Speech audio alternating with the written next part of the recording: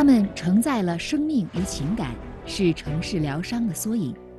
纪念过去，警醒未来，他们以温和坚定的方式触动人心。他们是无情中的温情，以创意设计疗愈世界的伤痕。筑梦天下特别呈现《止战之所》。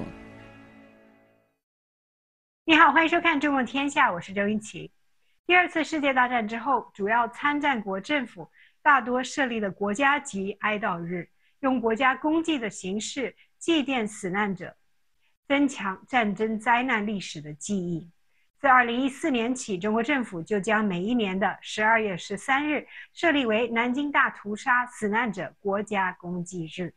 保留这份愤怒与苦楚的回忆的同时，我们可以用怎样的方式让它在沉重中又带满希望和力量？或许建筑中有答案。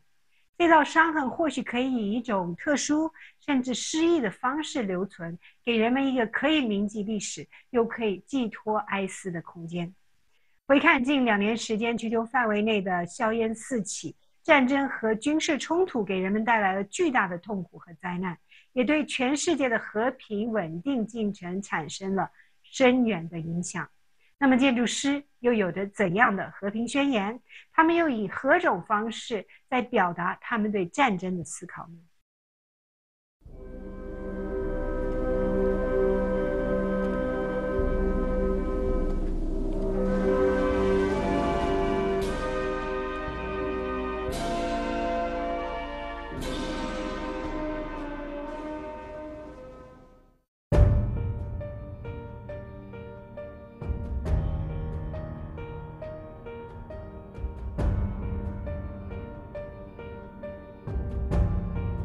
侵华日军南京大屠杀遇难同胞纪念馆是中国首批国家一级博物馆，也是国际公认的二战期间三大惨案纪念馆之一。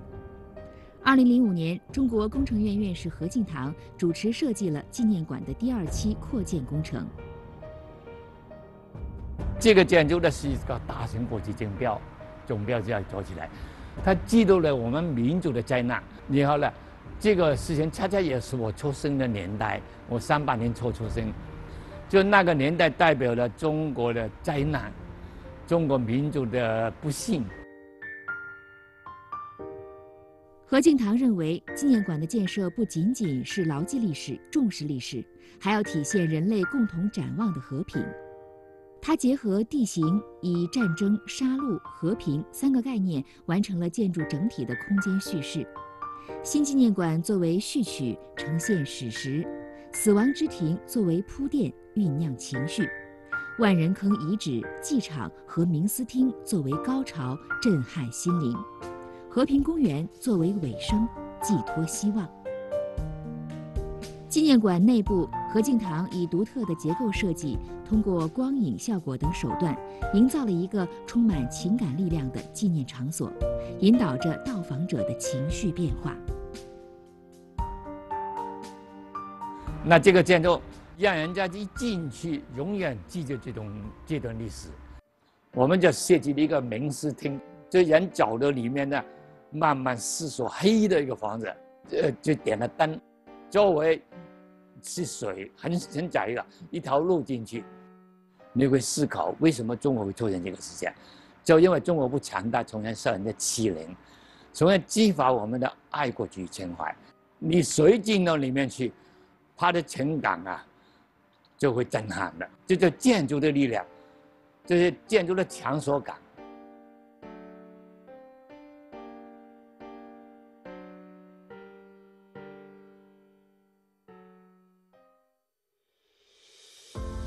在世界范围，试图用建筑抚平创伤，是许多建筑师思考的母题。丹尼尔·里伯斯金也是建筑界的一位传奇人物，在行业内被称为“建筑疗伤大师”。他出生于波兰一个在纳粹大屠杀中幸存的犹太家庭，他的父母和兄弟姐妹都经历过奥斯维辛集中营的迫害。李伯斯金便借由建筑追忆自己民族的悲痛过往。李伯斯金说：“战争充满了死亡和破坏性事件，而建筑是一种希望的艺术。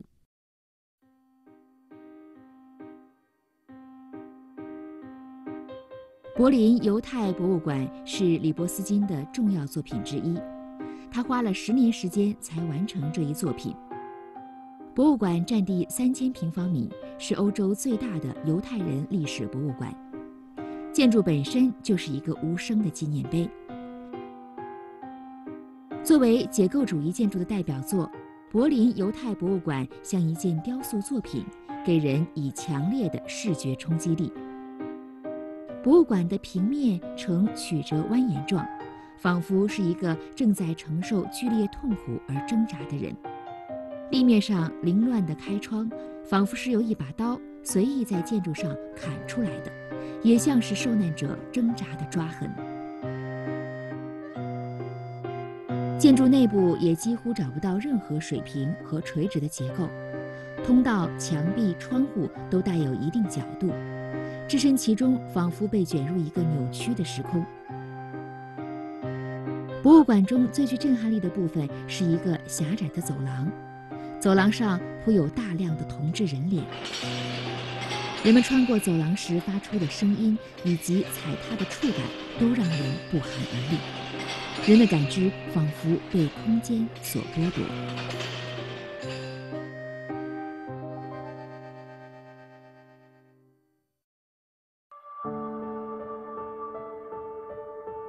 继柏林犹太人博物馆后，李波斯金再次操刀，设计了荷兰国家大屠杀姓名纪念碑，首次纪念了在大屠杀中遇难的十万两千位荷兰遇难者。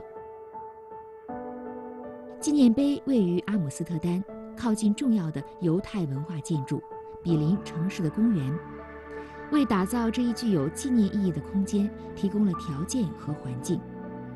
通过设计、材料和植被的选择，这一公共空间被构筑成了一个连续的城市花园。李伯斯金设计了一座由十万两千块砖块砌成的非线性迷宫墙，每块砖都代表一个人，让人们深刻、直观地认识到大屠杀期间遇难者人数的规模。周围环境通过墙上的镜面反射出来，像是漂浮在墙体上，虚浮的感觉让人产生一种不真实性。但下方厚重的墙体又提醒着人们历史的沉重。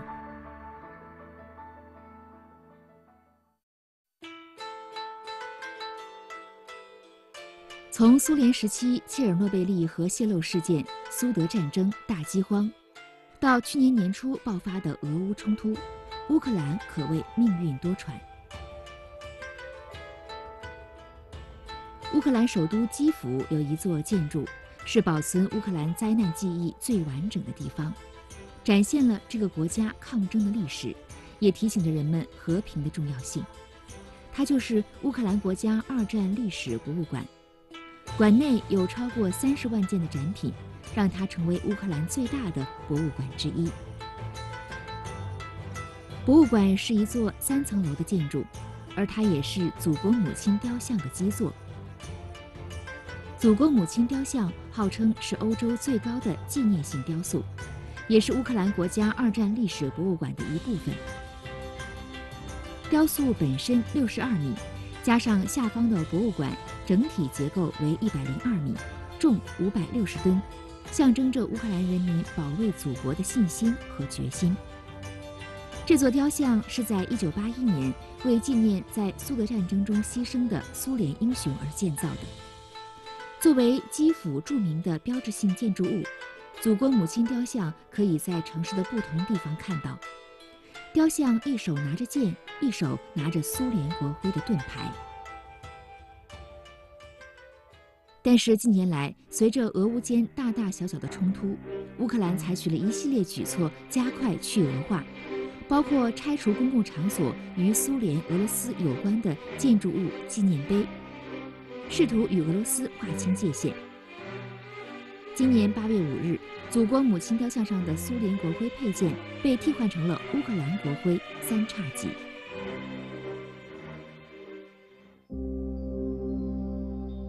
纪念碑可以成为情感和记忆的载体。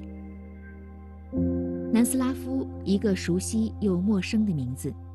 这个位于欧洲东南部的社会主义联邦共和国，自1991年起陆续解体成了六个国家，让南斯拉夫不复存在。各地建筑相继拆除，但有一批纪念碑却遗世独立。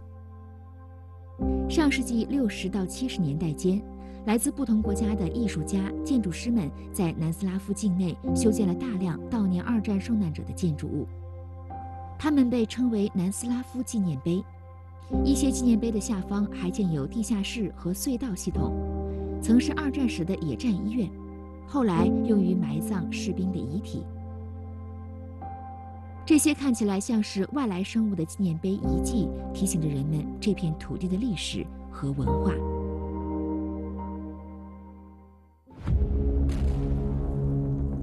除了战争危害，恐怖主义灾难也威胁着当代人类文明。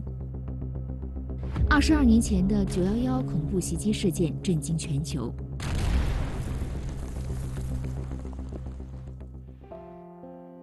在恐怖袭击发生两年多后，全球多个国家的建筑师围绕九幺幺国家纪念馆的设计展开了激烈的竞争。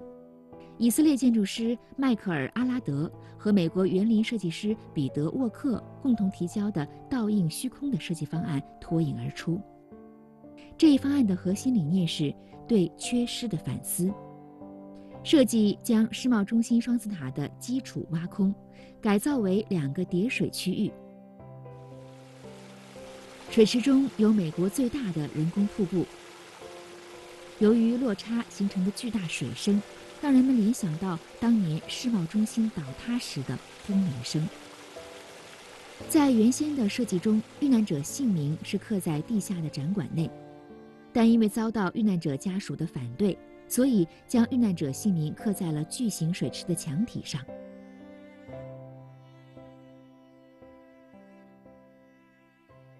建筑师通过纪念性建筑来表达战争带来的伤害，企图以此唤起人们对战争的警惕和对和平的珍惜。位于美国首都华盛顿的越战纪念碑是美籍华裔建筑师林英的成名作品。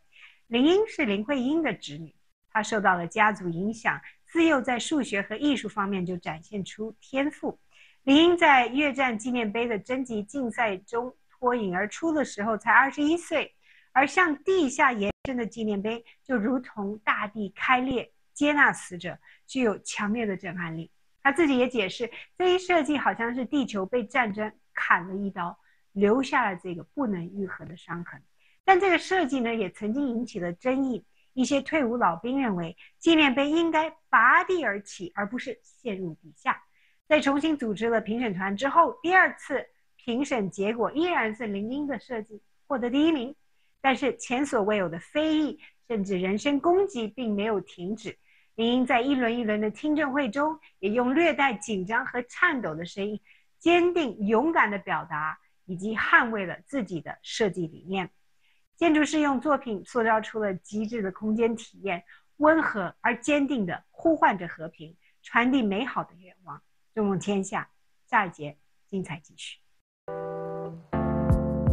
纪念碑往往是一种巨大高耸的建筑，用不同寻常的尺度来提醒世人过往的历史。而随着纪念碑数量和规模的扩大，其形式也愈加多元。位于德国柏林市中心的犹太人大屠杀纪念碑群，也被称为浩劫纪念碑，由美国先锋建筑师彼得·艾森曼设计。艾森曼从根本上颠覆了传统纪念碑的概念，放弃了所有具有象征性的表达。纪念碑由两千七百一十一块灰色的巨型混凝土块组成。两千七百一十一这个数字是艾森曼根据纪念地的面积而定的，没有任何象征意义，而且混凝土块上没有任何文字标识。与被害者和受难地有关的信息都在地下展厅。步入纪念碑群，仿佛置身迷宫，无尽而单调的形状让人不由得陷入对那段历史的反思。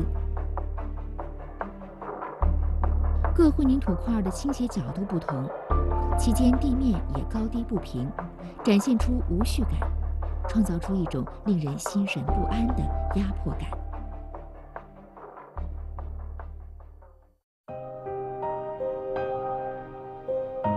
一九四五年八月六日上午八点十五分，那枚名叫“小男孩”的原子弹让整个广岛市变成了一座人间地狱。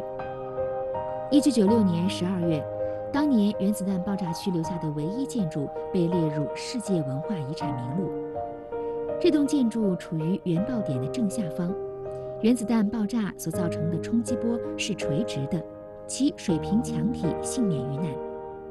这座建筑由捷克人设计，因独特的欧洲风格，让其成为战前广岛的标志性建筑。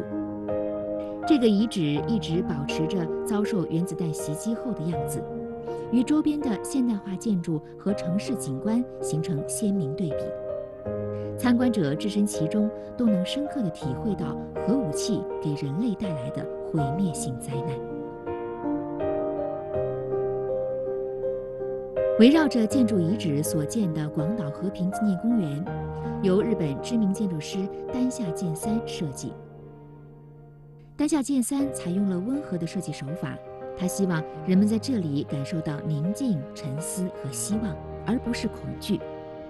战争的悲痛被化解为一个遥远的符号。广岛和平纪念公园所表达的，除了对历史的反思，更多的是对新生的渴望。和对和平的向往。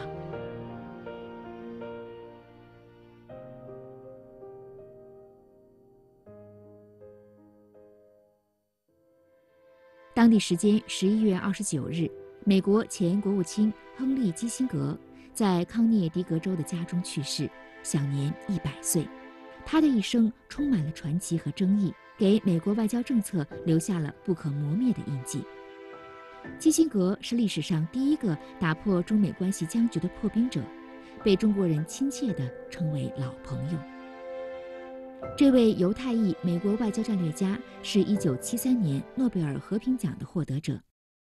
大部分的诺贝尔奖的颁奖地都在瑞典斯德哥尔摩，但诺贝尔和平奖的颁奖地却在挪威奥斯陆。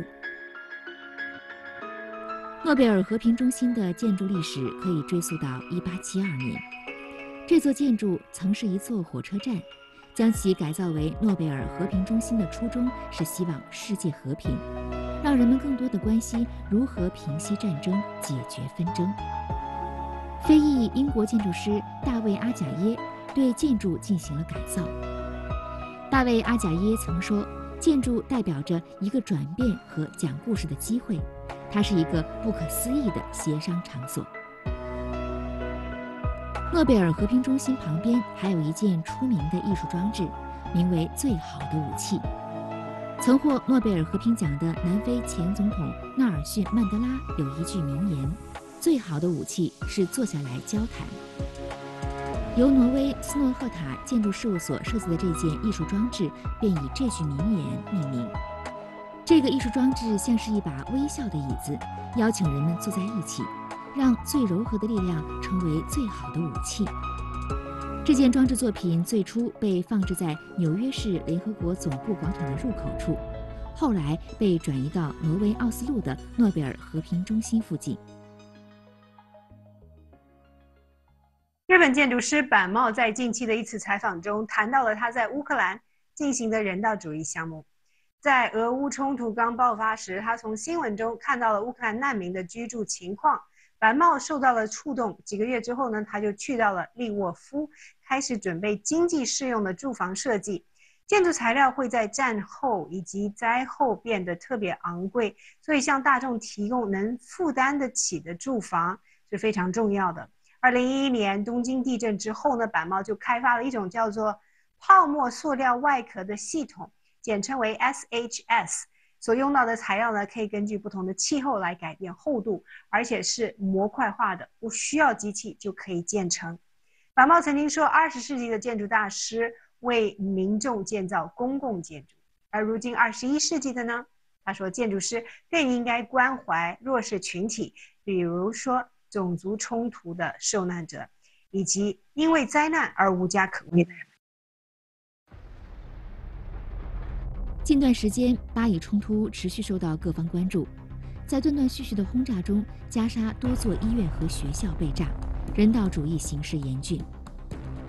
临时停火七天后，十二月一日，以军于加沙地带巴勒斯坦武装战火重燃。据报道，双方已有超过一点六四万人死亡。目前，加沙境内流离失所者多达一百八十万人，造成严重人道灾难。建筑中的人道主义在救灾建筑中体现得最为直接。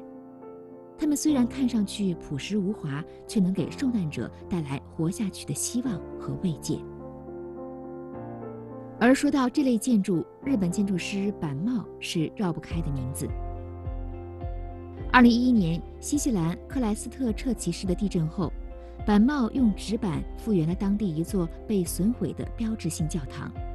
同时，也为社区创造了一寓安身之所。这个纸板教堂预期寿命是五十年，却成为了克莱斯特彻奇市最抗震的建筑之一。板茂对纸管性能进行了大量的实践、测试、调整和再实践。如今，在很多国家都可以看到他的纸管作品，他的身影也出现在全球多起抗震救灾的现场。运用便宜轻巧的材料和组装迅速且结实的结构，让灾难后无家可归、身心受创的人们可以快速拥有一个安身之所，保护他们的隐私和尊严的同时，帮助他们重燃希望和勇气。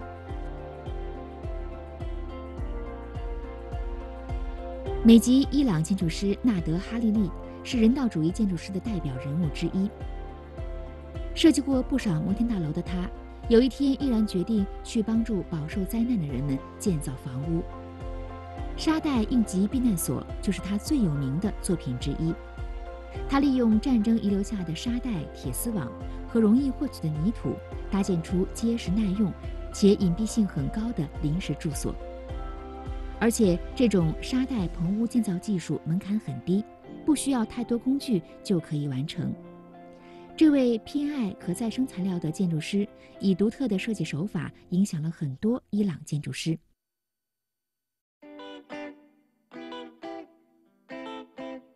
进入二十一世纪以来，普利兹克建筑奖的评选越来越青睐对人道主义做出卓越贡献的建筑师。二零二二年，普利兹克建筑奖获得者弗朗西斯·凯雷。他的作品遍布很多国家，包括各种临时和永久性建筑。凯雷擅长创意性的利用本土材料，在现代化建筑理念的指导下，设计满足地方需求的建筑。在家乡的首个项目甘多小学的建造过程中，凯雷使用了当地人捐赠的陶片，并且邀请妇女和儿童编织建筑所需的材料。将建筑变成一件每个人都可以参与体验的事物。这些经济实用的解决方案，不仅是突破局限的建筑创作，更饱含了建筑师对社会的关怀与责任，为有需要的人们提供了帮助，并且带去了希望。建筑帮助人们疗愈，让城市重新生长，也是对历史的记录和反馈。救灾临时建筑看似简陋，却以最快的速度缓解了人们当下的痛苦，给予他们生存和尊严最基本的保障。而纪念性建筑呢，又以另一种方式，让这种痛苦存在于人类共同的回忆中，并世代相传。不同的艺术家站在自己的时代审视战争，用艺术书写反战宣言，让我们得以在回看历史长河的时候呢，见到这些。星星点点美好的人性光辉，画家以直观的视觉冲击提醒人们战争的恐怖，音乐人以优美词曲抚平人们心灵的伤痕，文学家和诗人用独特的文字揭露战争的残酷，感受到了战争中的恐惧和悲哀。也许人类需要不同的载体和形式去记住历史，换回记忆，才能够让我们不断的反思。正视和负责任的前进，让历史和记忆成为未来的一种力量，让世界变得真正的和平、而美好幸福。